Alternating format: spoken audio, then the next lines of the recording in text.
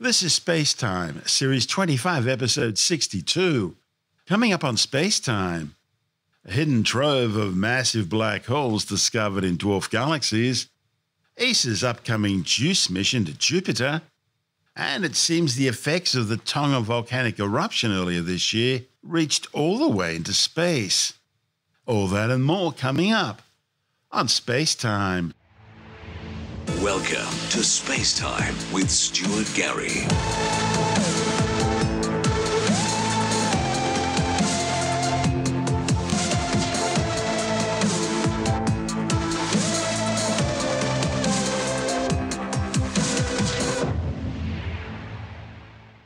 Astronomers have discovered a previously overlooked treasure trove of large black holes hiding deep inside dwarf galaxies. These newly discovered black holes, reported in the Astrophysical Journal, are providing astronomers with a glimpse into the life story of supermassive black holes, the monsters found deep at the center of giant galaxies, including our own Milky Way. Like all big galaxies, the Milky Way was built up through mergers of many small dwarf galaxies.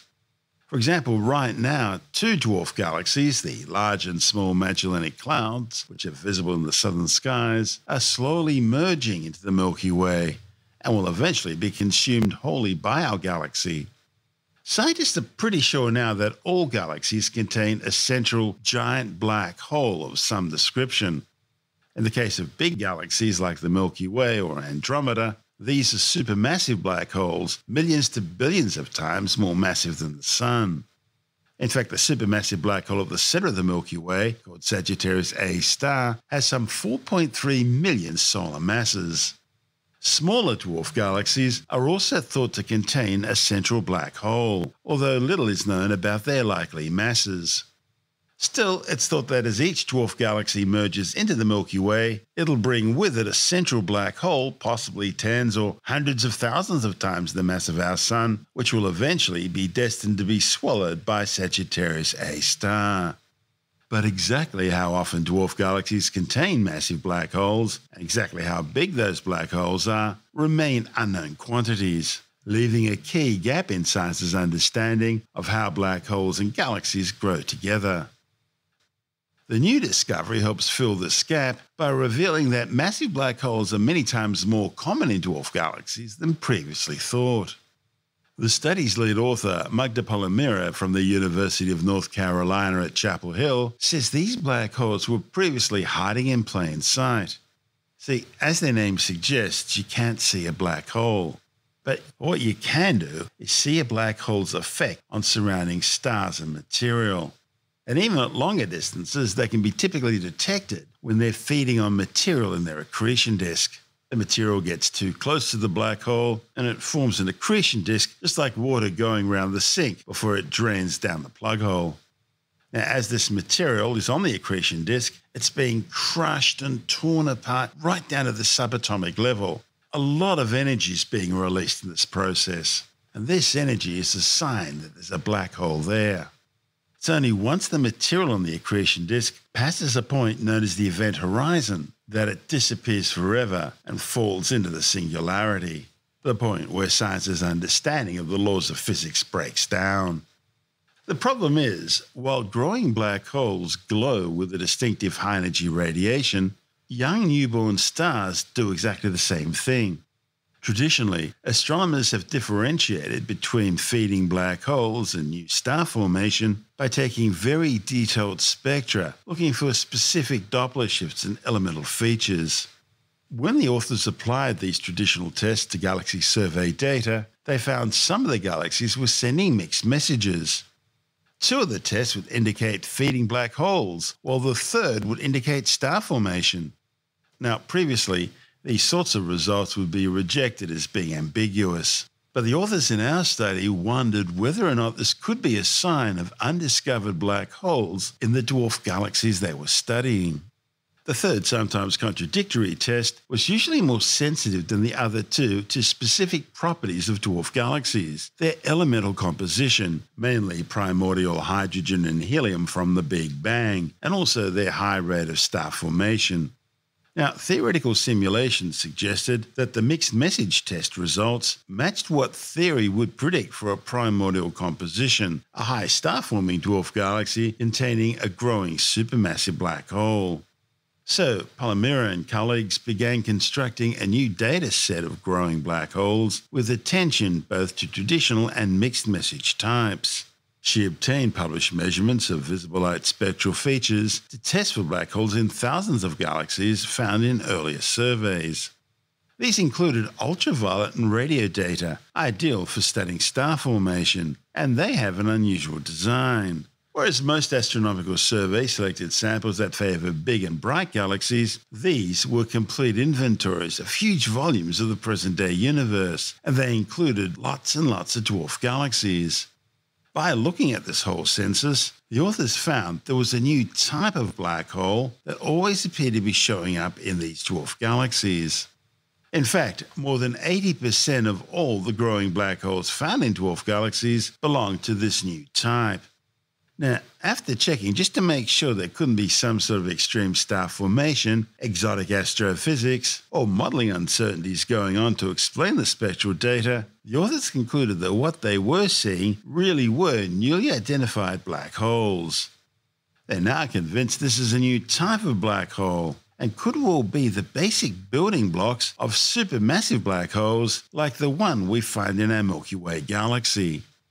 And that's important because one of the big problems we have with supermassive black holes is that we don't just find them today, we also find them in the very early universe at a time when there's no logical way they could have grown that big simply by lots of merging. That means there had to be another explanation. This is space time. Still to come, we look at the European Space Agency's JUICE mission to Jupiter and it seems Tonga's volcanic eruption back in January was so powerful it reached all the way up into outer space. All that and more still to come on Space Time.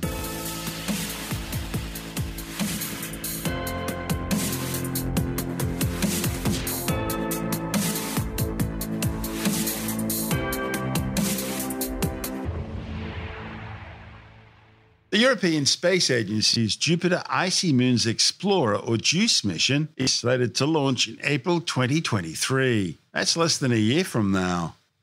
JUICE will be on an eight year journey to search for signs of life on three of the icy Galilean moons orbiting Jupiter. It'll arrive at Jupiter in July 2031 to explore the largest planet in our solar system and three of its 79 moons Ganymede, Callisto, and Europa. Then in December 2034, the spacecraft will enter orbit around Ganymede for a close up scientific mission, becoming the first spacecraft to orbit a moon other than the moon of the Earth.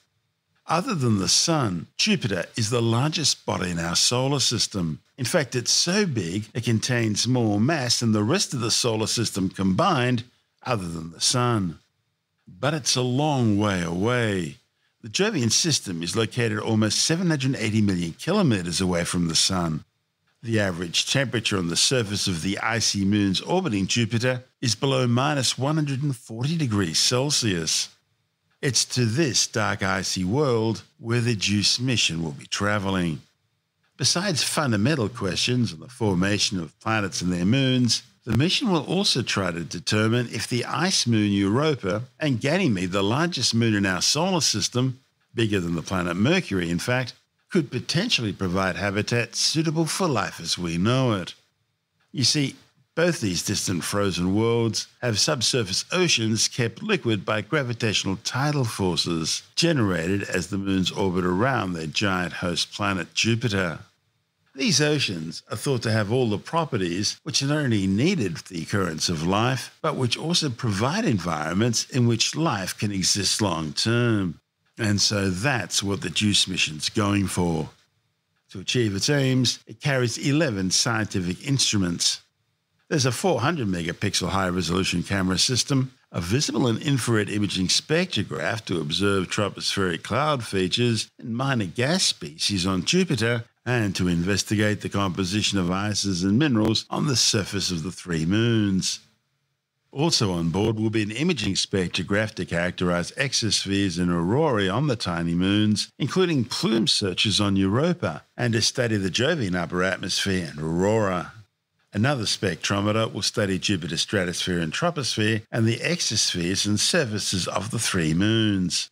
There's a laser altimeter to study the topography of the ice moons as well as tidal deformations of Ganymede. An ice penetrating radar will examine the subsurface structure of the moons all the way down to a depth of 9 kilometers. A magnetometer will study the subsurface oceans of the moons and the interaction of the Jovian magnetic field and the magnetic field of Ganymede.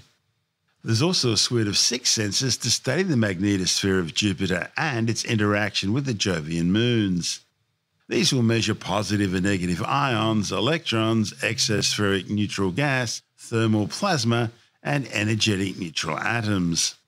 A radio and plasma wave experiment will characterize the plasma environment and radio emissions around the spacecraft. A gravity and geophysics radio science package will study the gravitational field of Ganymede and the extent of internal oceans on the icy moons, and it will also investigate the structure of the neutral atmospheres and ionospheres of Jupiter and its moons. And finally, there's an experiment which will generate very specific signals transmitted by JUICE's antennas, which will be received here on Earth by very long baseline interferometry in order to perform precision measurements of gravity fields of Jupiter and its icy moons.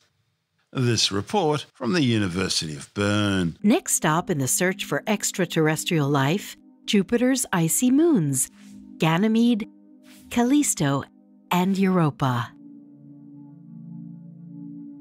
In 2023, the Jupiter Icy Moons explorer, JUICE, will leave Earth, heading towards Jupiter.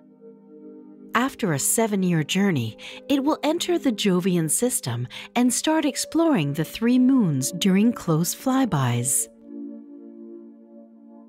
JUICE then will orbit its primary target, Ganymede. At one and a half times the size of Earth's moon, Ganymede is the largest moon in the solar system. There is evidence that Ganymede harbors an ocean deep beneath its 150 kilometer thick ice crust. Moreover, the gravitational interactions with Jupiter provide energy in the form of heat, a necessary condition for the emergence of life. Callisto is also covered with a thick ice crust, yet it is uncertain whether an ocean lies underneath. The moon's heavily cratered appearance suggests that no geological activity has ever reshaped its surface.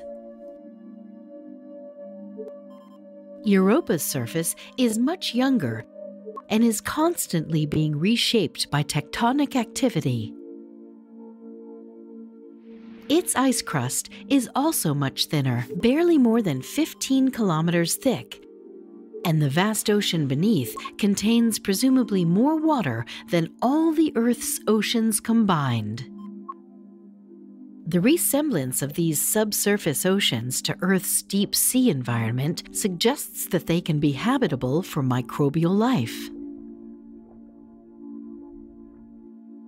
Europa is widely considered the most promising place to search for life beyond Earth. JUICE will investigate the atmospheres, surfaces, and interiors of the three moons.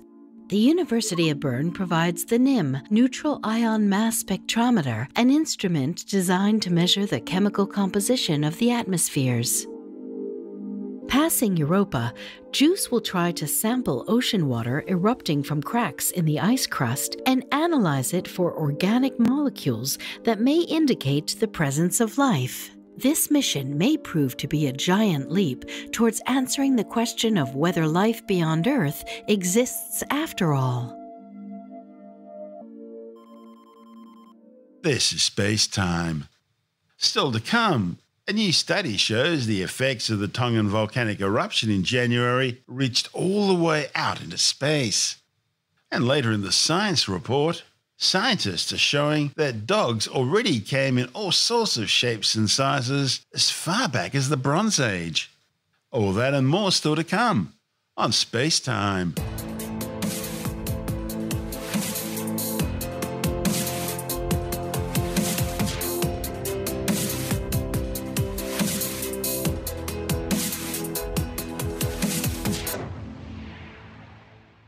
When the Hunga Tonga Hunga Ha'apai volcano erupted back on January the 15th this year, it sent atmospheric shock waves, sonic booms, and tsunami waves right around the world. Now, scientists are finding that the volcano's effects also reached all the way out into space. The findings, reported in the journal Geophysical Research Letters, are based on data from NASA's Ionospheric Connection Explorer or ICON mission and the European Space Agency's Swarm satellites. They found that in the hours following the eruption, hurricane speed winds with unusual electric currents formed in the ionosphere, Earth's electrified upper atmospheric layer at the edge of space. The study's lead author, Brian Harding from the University of California, Berkeley, says the volcano created one of the largest Earth generated disturbances in space ever seen. The effects are allowing scientists to test poorly understood connection theories looking at how the lower atmosphere interacts with space. ICON was launched in 2019 in order to determine exactly how weather from the Earth and weather from space interact. It's all a relatively new idea, supplanting previous assumptions that only forces from the sun and space could be powerful enough to create weather at the edge of the ionosphere. But in January, as the spacecraft passed over South America, it observed one such earthly disturbance in the ionosphere, which was triggered by the South Pacific volcano. It seems when the volcano erupted, it blew a huge plume of gas, water vapor, and dust high into the sky. The explosion also created huge pressure disturbances in the atmosphere, leading to really strong high level winds. And as these winds expanded upwards and outwards into thinner atmospheric layers, they began moving faster. By the time they reached the ionosphere and the edge of space, the ICON spacecraft was clocking wind speeds of up to 730 kilometers an hour making them the strongest winds below 200 kilometers in altitude measured by the mission since its launch. In the ionosphere, the extreme winds also affected electric currents. Particles in the ionosphere regularly form an east flowing electric current called the equatorial electrojet, which is powered by winds in the lower atmosphere. But after the Tonga eruption, the equatorial electrojet surged to five times its normal peak power. And dramatically, it even flipped direction and began flowing westwards for a short period. Scientists were surprised to see the electrojet reverse direction because it's something that was happening on the Earth's surface. That's something they've only previously ever seen with strong geomagnetic storms generated by the sun. So, this new research is adding to science's understanding of how the ionosphere is affected by events not just from deep space above, but also from the ground below. The Hunga Tonga Hunga Ha'apai undersea volcano rises some 1.8 kilometres above the seafloor. It's 20 kilometres wide and is topped by a submarine caldera 5 kilometres in diameter. The rim of the Hunga caldera breaks the surface at several places, forming a train of small islands. The cataclysmic January 15th eruption blasted a plume of ejecta some 50 kilometres into the sky. It generated a 15 metre tall tsunami and unleashed as much energy as 18 megatons of TNT, making it the most powerful eruption on Earth in the past 30 years. Satellites caught the massive blast and shockwave from space, and sonic booms from the eruption could be clearly heard 2,300 kilometres away in New Zealand. Estimates suggest the eruption had a volcanic explosivity index, or VEI, of 5 or 6. Now, that's around the same as the 1991 eruption of Mount Pinatubo in the Philippines and of Krakatoa in Indonesia in 1883. The VEI scale, which is logarithmic, has a maximum reading of 8. Mount St. Helens was a 5. The evolution of Hunga Tonga Hunga Ha'apai has been stunning. Scientists have been watching it closely ever since new land rose above the surface during an eruption in 2015. That joined two existing islands created during an earlier eruption in 2009. But the January 2022 eruption blasted away all the land created in the 2015 eruption, along with large chunks of the two older 2009 islands, which were part of the caldera's western and northern rim. For the first few weeks of 2022, The volcanic activity seemed typical enough, with intermittent small explosions of tephra, ash, steam, and other volcanic gases as magma and seawater interacted in a vent near the middle of the island. The ongoing eruptions were reshaping the landscape, enlarging the island by adding new deposits of ash and rock to the growing volcanic cone. By early January, the island had expanded by 60% compared to before the activity started back in December 2021. Then, on January the 13th and 14th, an unusually powerful set of blasts sent ash surging into the stratosphere. The entire island was completely covered by a tenth of a cubic kilometre of new ash. Then, the major eruption on January the 15th blanketed nearby islands with ash, dust, and debris. The massive eruption was thought to have been caused by hard rock in the foundations being weakened by earlier blasts. That allowed the partial collapse of the caldera's northern rim, which allowed the surrounding Pacific Ocean to rush into an underground magma chamber. Now, the temperature of magma usually exceeds about 1000 degrees Celsius. On the other hand, the temperature of seawater is closer to around 20 degrees Celsius. The eruption of Hunga Tonga Hunga Ha'apai shows that the mixing of the two can be incredibly explosive, especially in the confined space of a magma chamber. This is space time.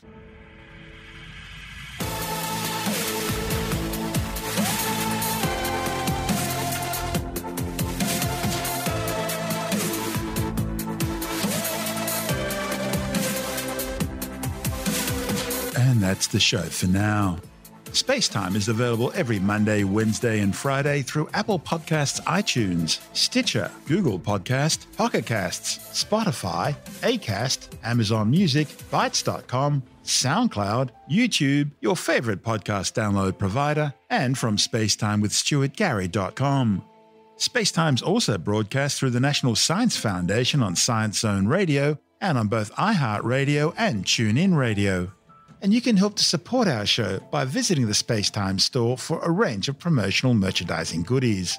Or by becoming a Spacetime patron, which gives you access to triple episode commercial free versions of the show, as well as lots of bonus audio content which doesn't go to air, access to our exclusive Facebook group, and other rewards. Just go to spacetimewithstuartgary.com for full details.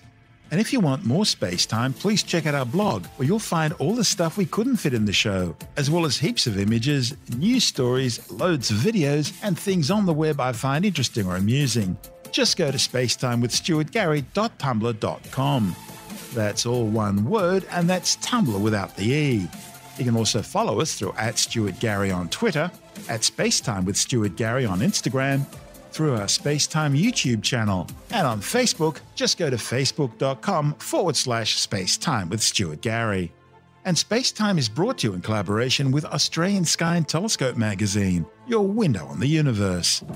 You've been listening to Spacetime with Stuart Gary. This has been another quality podcast production from Bitesz.com.